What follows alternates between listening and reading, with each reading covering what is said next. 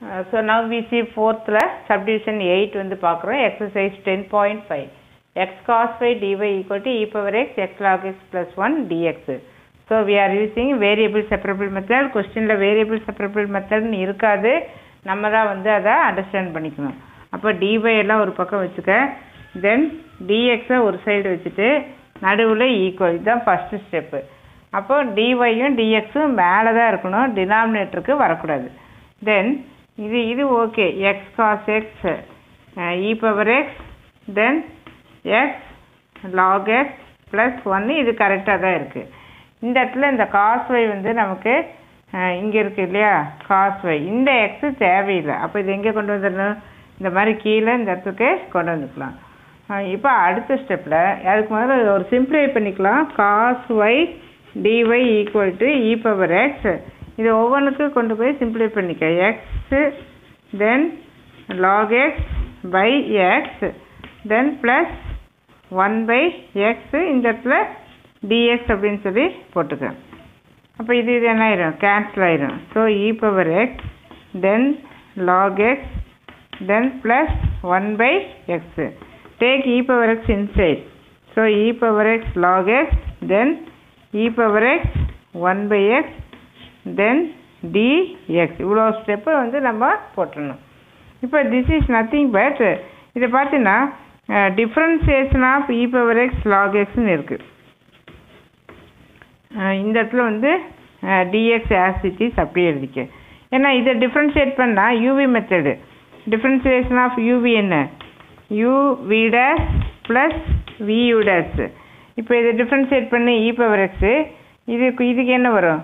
Lock x இல்லையா? அடுத்தது differentiate பண்ணுறப்போ சாரி லாக் எக்ஸ் அப்படியே எழுதிட்டு இ பவர் எக்ஸுக்கு e power x then e power x அப்படியே எடுத்துட்டு ஒன் பை எக்ஸ் இது வந்து பிரித்து காமிக்கிறேன் differentiation of e power x log x இது வந்து யூ இது வந்து வி அப்போ என்ன எழுதலாம்? யூபி டேஷ் ப்ளஸ் வியூ டேஷ்னு எழுதுவோமா?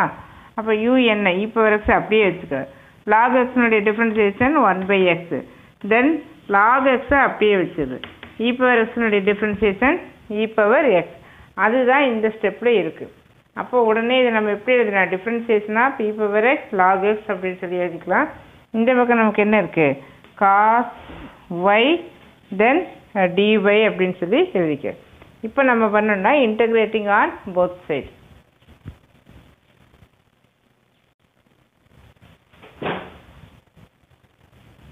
இது அந்த மெத்தட் போடுறத விட இன்னொரு மெத்தட் ஈஸியாக இருக்கும். This is equal to e power x log x இதோட ஆன்சர் வந்து ஆக்சுவலாக இ பவர் எக்ஸ் லாக் அதாவது இப்போ இன்னும் இன்டெக்ரல் அதெல்லாம் எழுதல இல்லையா? இங்கே காஸ் ஒய் டி ஒய் இப்போ இன்டெக்ரல் போட்டுக்க. இதுக்கு இன்டெக்ரல் போட்டுக்க. இந்த இடத்துல டிஎக்ஸ் எழுது. இப்போ இதனுடைய ஆன்சர் வந்து இது. தென் ப்ளஸ் சி வழக்கம் போல் எழுதிக்க காஸ் ஒய்க்கு என்ன வரும்? சைன் ஒய் இப்போ இதோட இந்த ப்ராப்ளம் ஓவர் எப்படி அப்படின்னா நமக்கு ஃபார்முலா தெரியும். Integral of e power x இந்த இடத்துல எஃப் ஆஃப் எக்ஸ் இது எக்ஸசைஸில் ஒரு சம்மில் இருக்குது ஒரு எக்ஸசைஸ் ஃபுல்லாகவே வந்து பார்த்தீங்கன்னா இந்த டைப்பில் சம் இருக்குது இந்த இடத்துல இதனுடைய டிஃப்ரென்சியேஷன் வரும். எஃப் டேஸ் ஆஃப் எக்ஸ் வரும். இந்த மாதிரி வந்தால் இதோட ஆன்சர் வந்து e power x f of x அப்படின்னு சொல்லி அர்த்தம். இதுதான் இதனுடைய ஆன்சர் இது எக்ஸசைஸில் இருக்குது அதை நீ கோத்ரூ பண்ணிக்க ம். ஸோ இப்போ this is f of x இதனுடைய டிஃப்ரென்சியேஷன் என்ன? One by x so this is f dash of x so இந்த ப்ராப்ளம் வந்து நமக்கு over and coming to the next one இங்கே டேன் ஒய் டிஒய் பை டிஎக்ஸ்னு இருக்கா? அப்போ டேன் ஒய்யை இங்கேயே வச்சுக்க. டிஒயும் இங்கேயே வச்சுக்க. இந்த டிஎக்ஸ் எங்கே கொண்டு போய்க்கலாம்? அந்த சைடு கொண்டு போய்க்கலாம். So cos x plus y then cos x minus y before that இதை கூட எக்ஸ்பேண்ட் பண்ணிவிட்டு கூட நம்ம அந்த சைடே எடுத்துகிட்டு போய்க்கலாம். இது cos of a plus b formula cos a cos b plus வந்து என்ன வரும்? மைனஸ் வரும். So minus sine a sorry minus sine a sine b இது வந்து formula then plus cos of a minus b அப்படின்னா formula cos a then cos b plus sine a sine b sine x sine y அப்போ plus minus என்ன ஆயிரும்?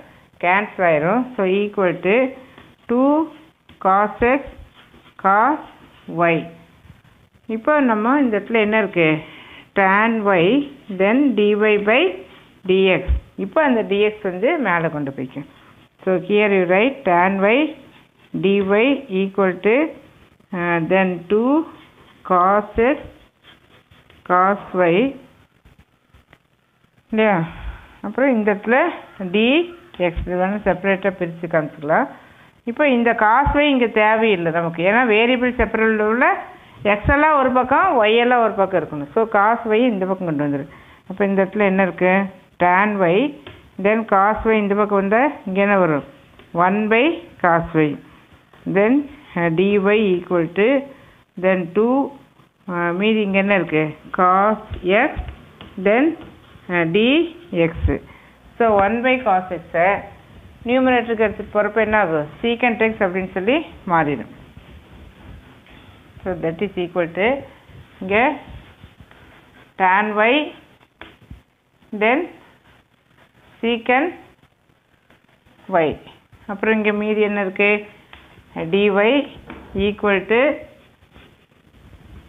uh, then 2 cos x dx now you take integral so secant y then tan y dy equal to integral cos x dx integral of cos x என்ன வரும் sine x இந்த plus C நம்ம வழக்கம் போல் போடுவோம் integral of secant x tan x equal to secant x so இந்த இடத்துல secant y so the answer for this secant y equal to two sine x plus c thank you